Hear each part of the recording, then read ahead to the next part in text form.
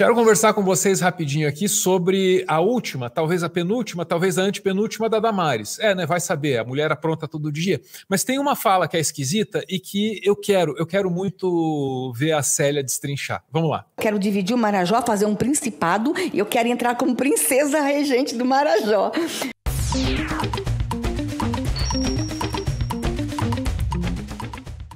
Célia Chacriabá, aqui do meu lado, deputada indígena, jovem do pessoal de Minas Gerais, e eu tô com uma fala da Damares Alves, senadora na cabeça, sobre Marajó. É que eu gosto muito do Pará, viu, deputada?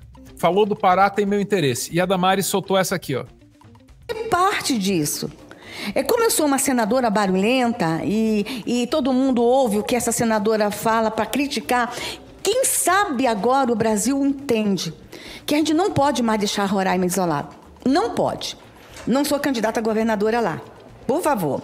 Eu sou candidata no Marajó. Eu quero dividir o Marajó, fazer um principado e eu quero entrar como princesa regente do Marajó. Não sou candidata, mas eu entendo que é hora. E essa comissão, senador Chico Rodrigues, que foi criada para uma situação, ela pode dar uma resposta para o Estado. Entendo a preocupação dos dois secretários. Eles só tiveram 20 minutos. Se dessem a vocês duas horas, eles trariam aqui duas horas de dados, estatísticas e elementos que nos preocupam. Roraima é Brasil. E o que acontece lá afeta diretamente aqui Brasília. o que acontece lá afeta São Paulo. Isso aí sim. Todos os prefeitos estão aí preocupados com o número de. É, tem crescido muito a população em situação de rua no Brasil. E muitos deles são venezuelanos.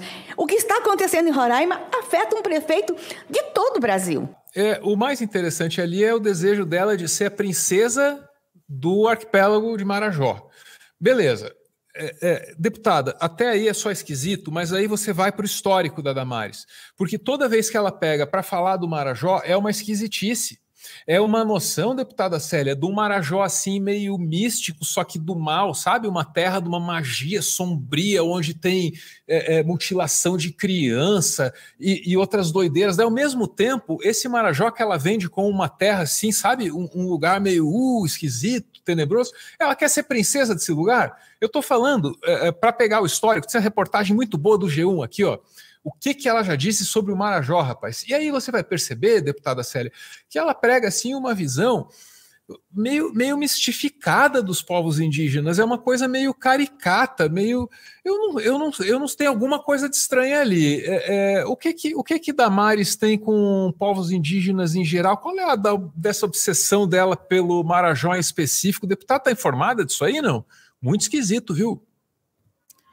Eu sou parlamentar convidada na Comissão Externa Yanomami no Senado. Eu fui a primeira parlamentar a estar no território Yanomami. Isso uhum. mostra o quanto que nós temos sido convocada às emergências nacional. Damares, que na comissão tem se colocado como protetora dos povos indígenas. E eu questionei ela presencialmente. Se você gosta tanto de indígena, por que que enquanto antiga ministra, ex-ministra, você negligenciou até o acesso de água potável? Por que, que enquanto ex-ministra, permitiu o passar da boiada negociada ainda pelo ex-ministro Ricardo Salles?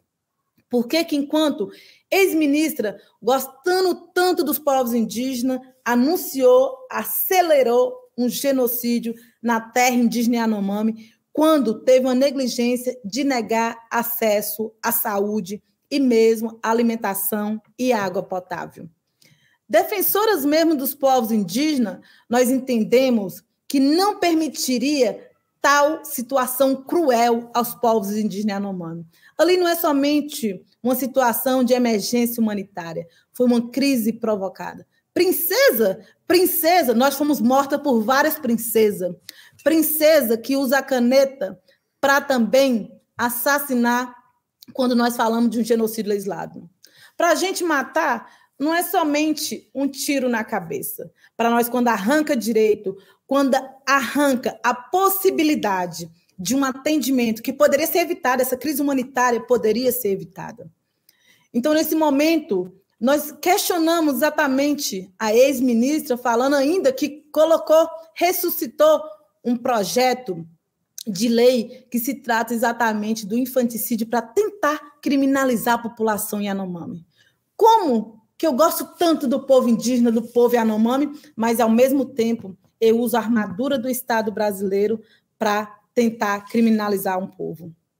Nós dizemos que total situação não pode ser discutida sem escutar os povos. E foi quando ela disse: Mas eu escutei mulheres indígenas, eu escutei algumas mulheres indígenas. Eu falei, mesmo sendo mulheres indígenas, para me escutar é consultar 305 povos de diferentes costumes e tradição.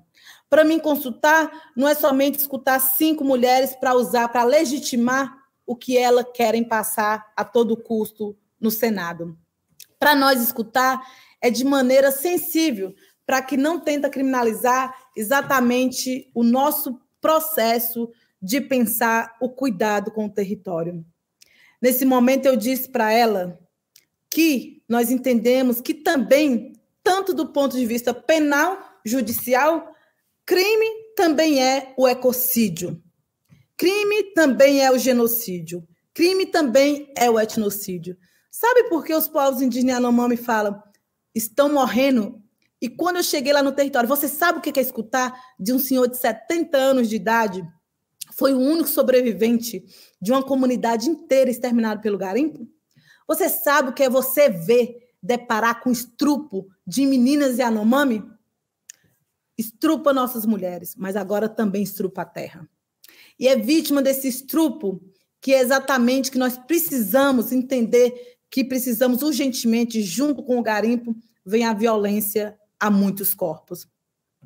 E nós não podemos manter silenciada quando situações de extrema gravidade está acontecendo, não somente no território Yanomami, porque o que aconteceu no território Yanomami é um caso de repercussão geral. Ainda na nossa comissão, a ministra Sônia Guajajara, quando esteve presente, ela também foi questionada sobre a situação do infanticídio foi quando ela respondeu: quem mais mata criança no Brasil? Quem mais mata meninas, mulheres no Brasil? Eu falo que nós estamos vivendo um momento não somente de feminicídio, nós estamos vivenciando um momento de amoricídio. A humanidade está perdendo a capacidade de amar. Votar em projetos do mal como 490, não sensibilizar. Eu desconheço, eu não consigo imaginar uma pessoa que não consegue sensibilizar com o que ocorreu com o povo Yanomami. Um pai que não tinha nem força para dizer a causa morte da criança, porque ele também estava com fome. Uma parte da sociedade, infelizmente, ainda tem fome do que comer. Uma outra parte tem fome de sensibilidade e de humanidade. Nós temos um desafio importante de desaquecer o planeta para aquecer o coração, porque certamente as pessoas que não é capaz de sensibilizar com todo o processo de violência desde 1500, mas que ainda a gente mantém de pé, perdeu o senso de humanidade. Maravilha. Deputada, quero nós muito queremos agradecer. mais e nós queremos não exatamente princesas com coroa, nós queremos mais povos indígenas com os cocares de pé. Muito obrigado. Deputada, é, obrigado, é, sobretudo, por é, discorrer sobre essa declaração que me pegou me pegou muito assim, né? Porque você fala mal, fala mal, fala mal do lugar, depois fala que quer ser princesa. Fala mal do lugar, fala mal do povo do lugar, depois fala que quer ser princesa. Aí é esquisito, né?